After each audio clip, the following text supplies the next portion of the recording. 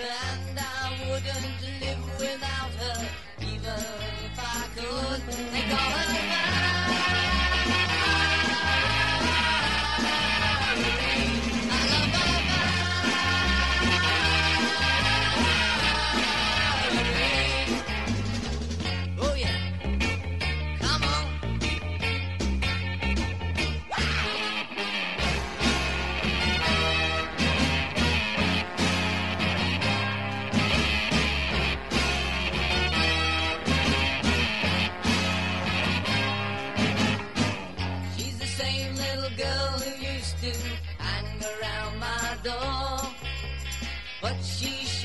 looks different than the way she looked before.